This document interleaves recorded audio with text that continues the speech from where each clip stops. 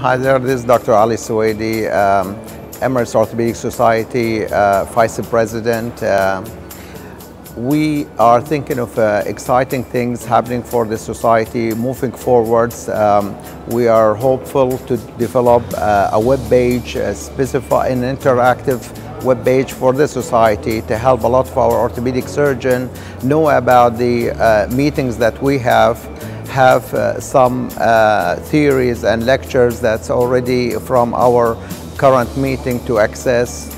This is will only uh, done through a membership to the society and uh, we are welcoming a lot of the orthopedic surgeons that have not been enrolled in the society to enroll as we have a lot more exciting things happening uh, through the website um, as we establish it uh, in the next future.